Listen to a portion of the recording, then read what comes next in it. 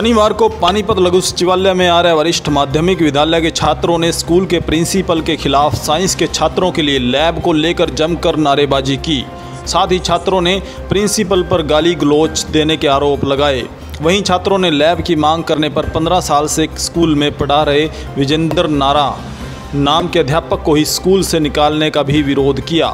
छात्रों ने बताया कि उन्होंने बीते दिन स्कूल में लैब की व्यवस्था को लेकर डीसी सुमेधा कटारिया को अवगत करवाया था जिसके बाद प्रशासन की तरफ़ से कार्रवाई अमल में लाई गई। तो स्कूल प्रिंसिपल ने अध्यापक विजेंद्र नारा को स्कूल से निकालकर एक फ्रेश टीचर को रख लिया है। प्रिंसिपल की स्कूल में प्रिंसिपल स्कूल में साइंस का भट्टा गुल हो रहा नहीं हो रहा?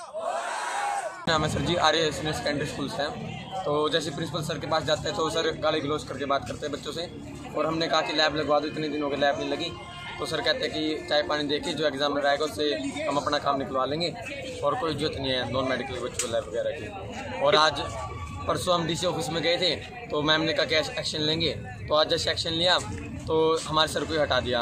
और दूसरे सर को चाबी दे दी कि आप लैब लगवाओ।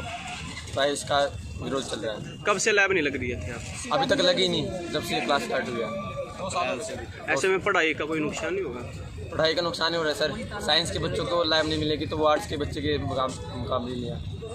हमारे प्रिंसिपल एक तो उनको बोलने की तमीज़ नहीं है। अगर अब मान लो किसी के पेरेंट्स आ गए ना बहुत बदतमीज़ से बोलते हैं। अगर मान लो ऑफ़िस में चले गए अगर ऑफ़िस में कोई देखता है कि बच्चे हैं पहले बात सुन ले अगर ऑफ़िस में चले ऐसे कहता है चल चल बाहर निकल। सीधा ऐसे बोलता है। तमीज़ है नहीं बिल्कुल बोलने की सर को। और हमारे विजेंद्र सर नारा थे नारा सर थे उनको स्कूल से निकाल दिए बिना नोटिस के। पंद्रह साल का एक्सपीरियंस है सर को। और बिना नोटिस के निकाल दिए पंद्रह साल हो गए स्कूल में पढ़ाते पढ़ाते और तमीज़ तो है ही नहीं बिल्कुल। वो? फिजिक्स के। उनकी जगह दूसरा आया है। उनकी जगह वो पुराने सर थे ना मतलब न्यू न्यू सर फ्रेशियर उनको भेज दिया। कह रहा डीसी मैम को हमने परसों कंप्लेन की थी कि ना हमारी लैब नहीं लग रही। तो मैम ने आज एक्शन लिया। एक्शन तो लिया तो हमारे सर को ही हटा दिया उन्होंने। कह रहा ये सर नहीं पढ़ाएँगे आपकी राजनीति खेलते हैं वगैरह तो आपका क्या कुछ मामला कुछ नहीं है। हम इन बच्चों के फ़ायदे की बात कर रहे हैं। एक टीचर है बच्चों को डराकर, धमकाकर, नंबरों का लालच दे करके कि हम ये, इसमें असिस्मेंट में नंबर दे देंगे प्रैक्टिकल में नंबर दे देंगे और ट्यूशन के लिए कोचिंग सेंटर बहुत बड़ा, कई साल से खोल रखा है। हम उन बच्चों के पैसे बचा रहे हैं। पेरेंट्स हमारे पास आते थे कि हम बच्चे अपना हटा रहे हैं जी, इसकी वजह से हटा रहे हैं। तो हमारे कुछ एडमिशन भी प्रभावित हुए। हमने ट्यूशन पर बैन लगाया कि हम बच्चों के लिए यहीं पर एक्स्ट्रा घंटी ज़ीरो पीरियड ये सब लगाने को तैयार है। उसी क्लास के बच्चे, जिस क्लास को ये ट्यूशन पढ़ाता है, टीचर, उसी क्लास के बच्चे हैं ये। अब देखो, गाली गलौज की बात करते हैं ये। क्या गाली गलौज हम क्लास में पढ़ाते नहीं? हम राउंड पर सिर्फ़ जाते हैं, बरामदे से निकल आते हैं। गाली गलौज हम क्या करते हैं जी? जो टीचर वहाँ चालीस पैंतालीस मिनट खड़ा होता है, वो कराएगा ना गाली गलौज तो।